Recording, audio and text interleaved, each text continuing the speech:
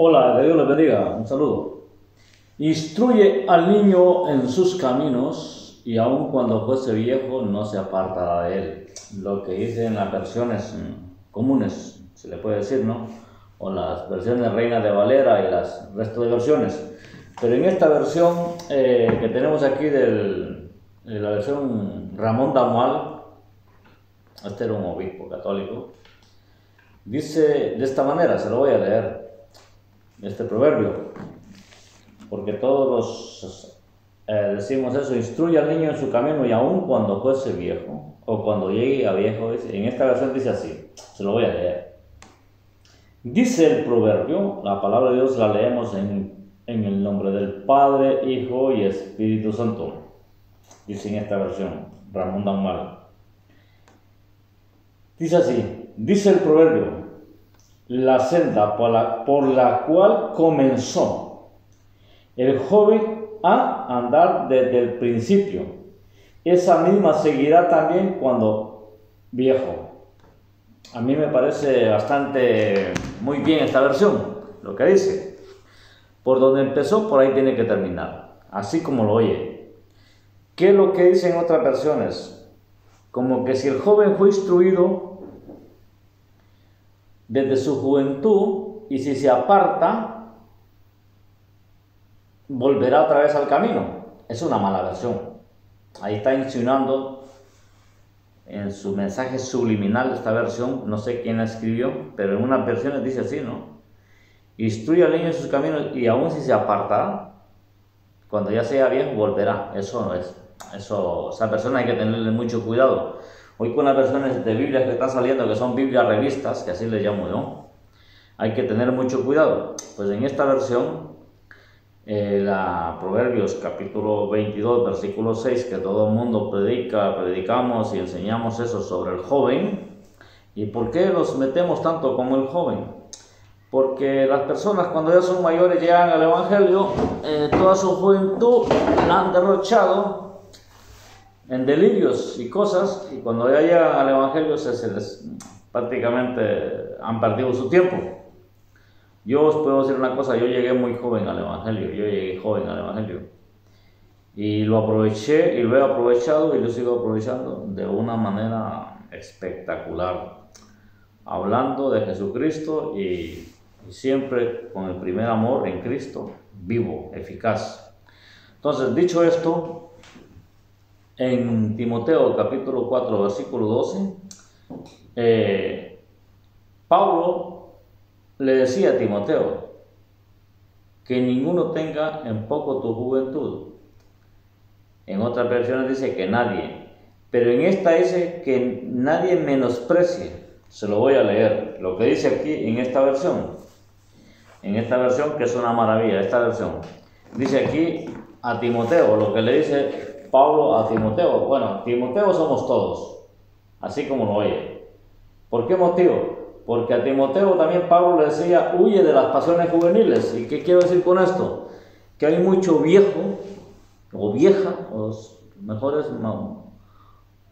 mujeres maduras de años, no de no en la parte espiritual, tienen pasiones juveniles y eso es imposible hombres viejos que tienen pasiones juveniles y eso es imposible. Entonces por eso Pablo le decía a Timoteo, huye de las pasiones juveniles. Mire lo que Pablo le dice a Timoteo en esta versión, en esta, en este, en esta versión lo que dice aquí.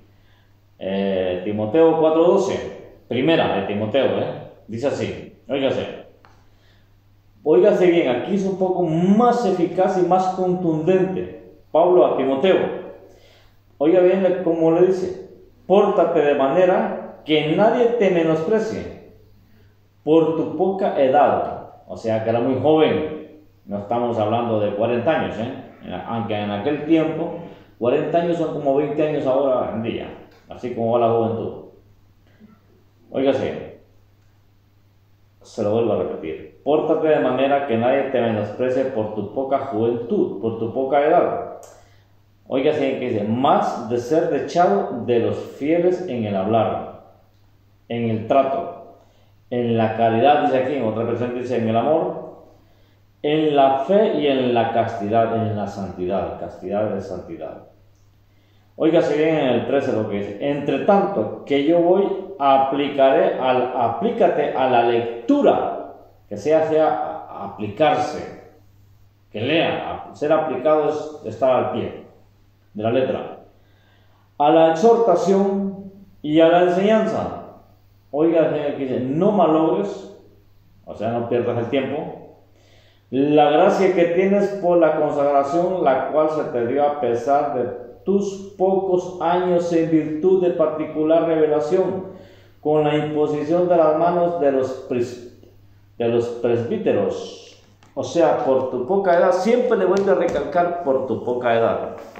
Hay que tener mucho cuidado nosotros con la edad, porque la edad es tremenda. ¿Y por qué eh, Pablo le decía a Timoteo que nadie tenga por poco tu juventud, que nadie la menosprecie?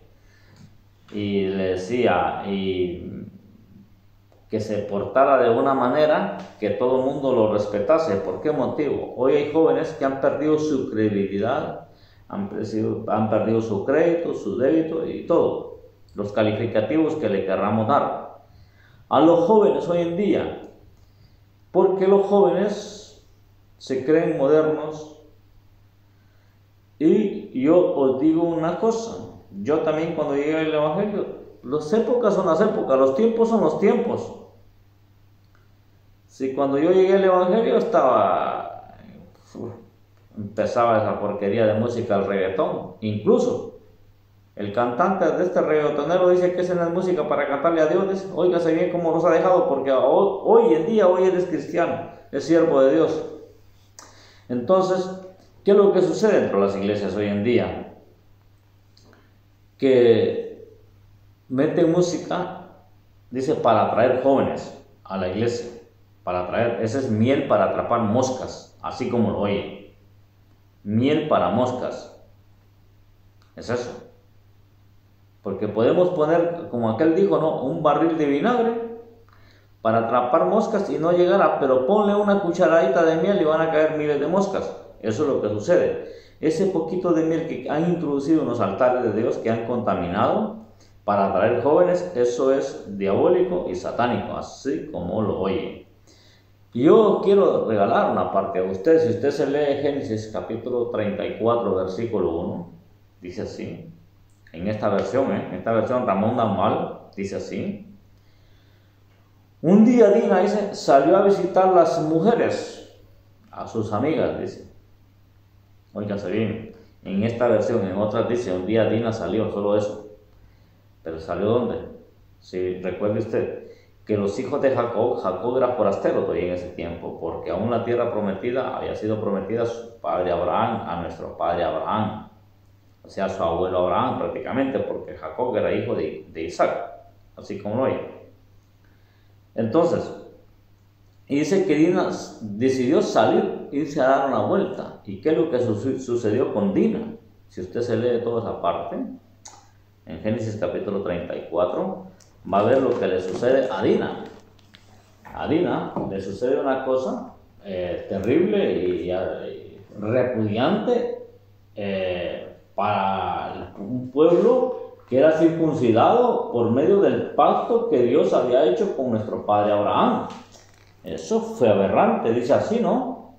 Óigase bien, tremendo lo que dice aquí. Salió, dice en esta versión, salió un día Dina, hija de Lía o de Lea, a ver las mujeres de aquel país. Recuerde que ellos ellos eran forasteros. En otras versiones no dice esto. Esta es una buena versión porque esta versión es traducida de un hombre que hablaba el hebreo, hablaba el griego y hablaba el latín. Digo yo lo hablaba porque ya murió. Son hombres expertos, minuciosos, siendo católicos, fueron cuidadosos. El que se pueda encontrar esta versión, que la compre. Son de buen precio. Yo las he comprado. Tengo tres de estas versiones, tres Biblias de estas. Tres. La versión Ramón Danmar, buenas versiones, muy bonitas. Y dice que salió, dice, dice a la cual Siken o Sichan, dicen esta, hijo de Gemor o Jamor, dicen otras versiones, Jebeo, príncipe de aquella tierra, o sea que no era un cualquiera, era un príncipe de Satanás, así como lo oye. Enamoróse de ella y la robó, o sea que la secuestró, se la llevó. Y dice aquí, desfloró, o sea que la violó, estaba en su flor divina. Violentamente a la Virgen, oígase bien, quedó su corazón ciego y extremadamente apasionado por esta joven. Yo le puedo leer todo. Pero ¿qué sucedió? Lo que sucedió fue violada Dina por visitar a las mujeres de aquel país, a las jovencitas en Cristo Jesús, apartadas de toda pasión, de toda amistad que sea del mundo, donde te pueda arrastrar a que tú seas de esta manera y puedas callar aquellas cosas y llevarlas cargando para toda tu vida por temor a muchas cosas. Si usted se lee todo este Génesis capítulo 34 va a encontrar lo que sucedió. Los hijos de Jacob, al ver que su hermana había sido violada, ellos se sintieron indignados, sin identidad. Y les hicieron una propuesta a los de Siquem. Así que la circuncisión. Y Siquem acepta la circuncisión. Siquem acepta la circuncisión. Cuando ya llevaban tres días de ser circuncidados, los dolores dicen que eran insoportables.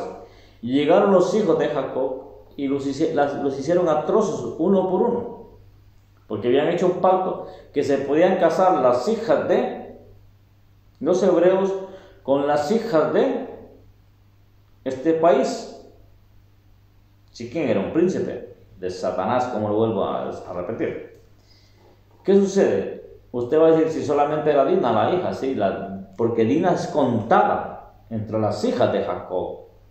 Recuerde usted que Jacob no solo era él y sus hijos, llevaban muchos criados y mucho pueblo. Pasa que por eso los cristianos somos contados nosotros. Aunque a usted no le guste, no le parezca. Pero a usted cuando va los domingos, usted ya sabe para dónde va. El mundo ya lo sabe, que usted un domingo, sus compañeros de trabajo, sus compañeras de trabajo. Si usted es jefe, me gustaría que mejor fuese jefe.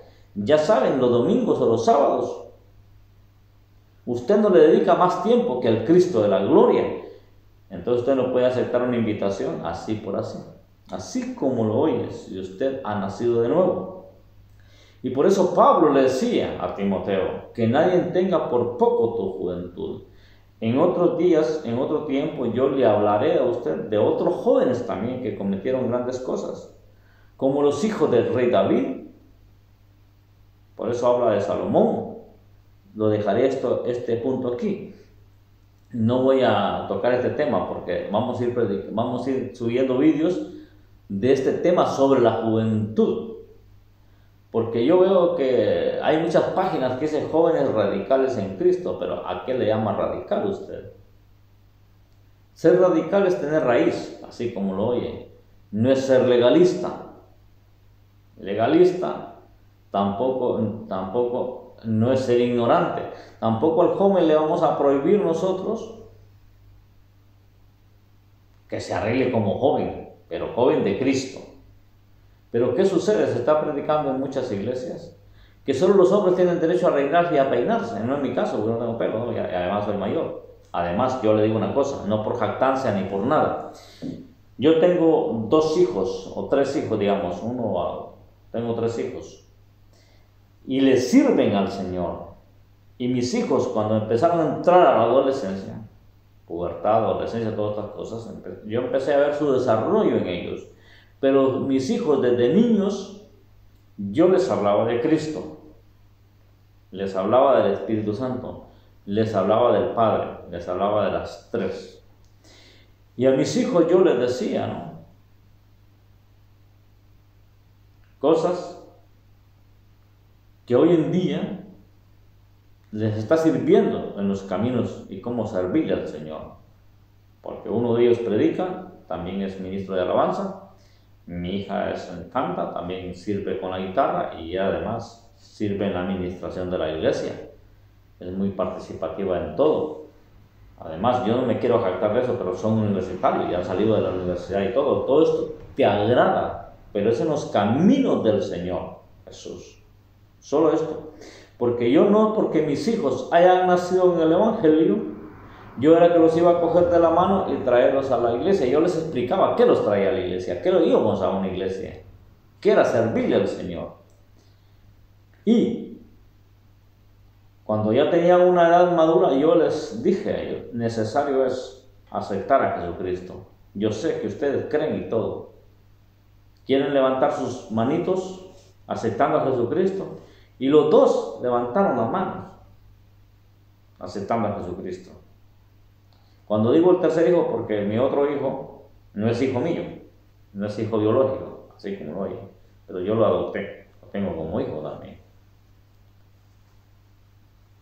Así como lo oye, pero sucede que lo biológico trae ADN cristiano, así como lo oye usted, y lo que no es adoptado, lo que es adoptado, pues traen otros ADNs, además.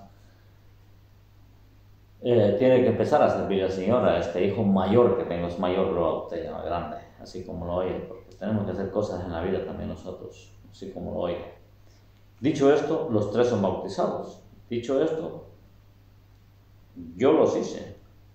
Levantar las manos y decir, hay que aceptar a Jesucristo. Y luego, al bautismo de las aguas, porque también es responsabilidad nuestra el bautismo de las aguas. Ya lo que es el bautismo del Espíritu Santo, eso depende del Dios y Padre, creador de todas las cosas, y de Jesucristo. Entonces, yo digo una cosa, mire el caso de Dina, fue violada. Otro día le, le explicaré y lo llevaré a los versículos sobre Tamar, la otra hija de David, lo que sucedió con su hermano Amnón y lo que, lo que hizo por venganza su hermano Absalón. ¿Y por qué Salomón dijo estas cosas también, no? Porque Salomón empezó a reinar muy joven. Pues lo de Timoteo es impresionante, así como lo oye usted. Timoteo, recuerde usted que según eh, su madre era judía, su padre era griego, y por eso usted va a encontrar algún versículo que dice, y Pablo, llevando a Timoteo, lo circuncidó. ¿Por qué lo circuncida? Porque a veces dice usted, pero ¿cómo se contradice Pablo en estos asuntos? Porque Pablo decía, mejor circuncidar, por la circuncisión la que vale es la circuncisión del corazón y no la de la carne. Pero ¿por qué motivo Pablo circuncida? Ah, Timoteo, porque donde iban a ir eran judíos. Y usted sabe qué es lo que hacían los judíos con los que se llamaban ser judíos y no estaban circuncidados. Los lapidaban a piedra, así como lo oye. Esa era la ley judaica. Esa era la ley judaica, así como lo oye. Entonces, si le toca un poquito del tema sobre la circuncisión, eso fue lo que sucedió con los hijos de Jamón. Ellos creían que la circuncisión, la de la carne, de tal manera como ellos la habían pensado, era la que valía. Mas, sin embargo, el pueblo hebreo sabía muy bien y correctamente bien qué circuncisión era la que valía. La del corazón, así como lo oye. No es la circuncisión, por eso jovencitas, jovencitos, no creáis muchas cosas.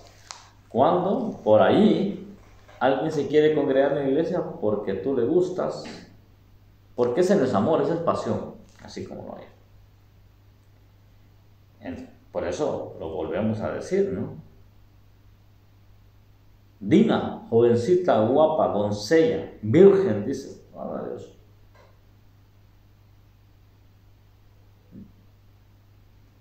Un día decide ir a visitar el país donde estaba y sucede este, este asunto.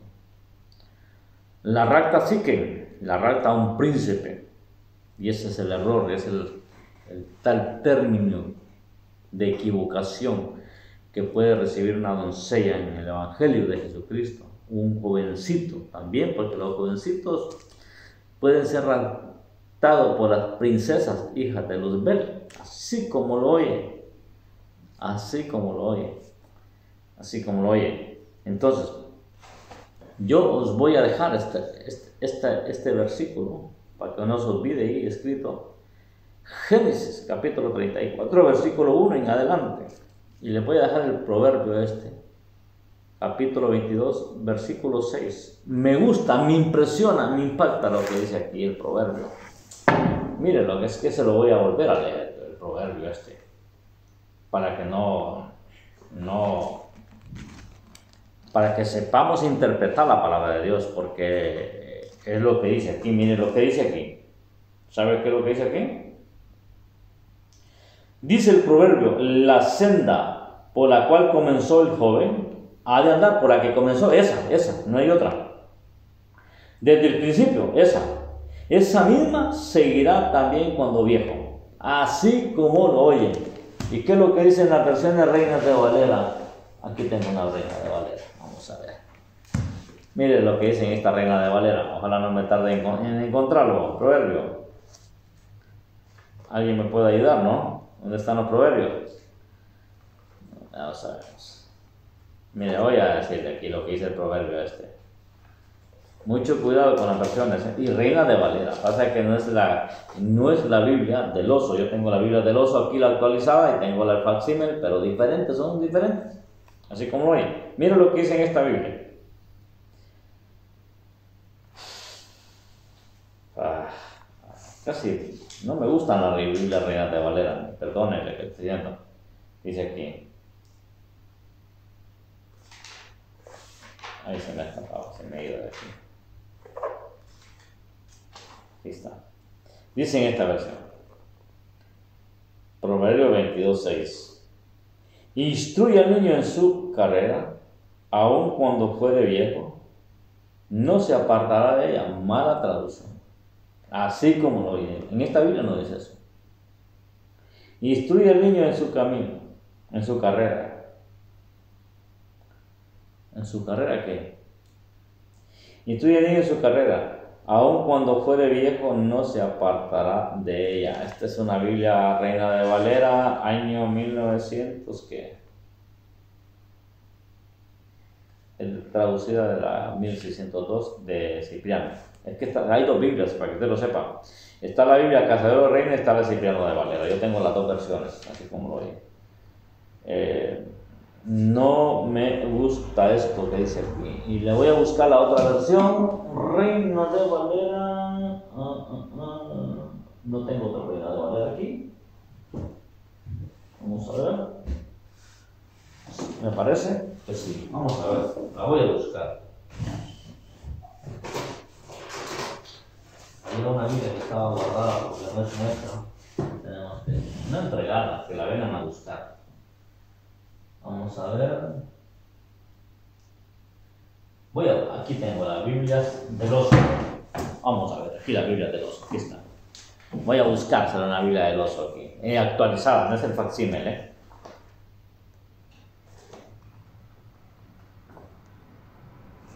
Este es el Nuevo Testamento.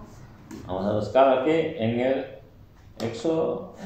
vamos a buscar el Antiguo Testamento. Vamos a ver, ojalá sea este.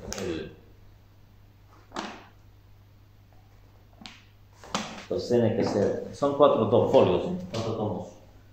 Vamos a ver, tiene que estar en este. Vamos a ver. Estas son reinas de Valera actualizadas que la han manipulado, como usted no tiene ni idea, la Biblia del oso. Yo tengo el facsímil que no lo ha manipulado. Vamos a ver, ¿qué es lo que dice en esta Biblia aquí? Vamos a ver.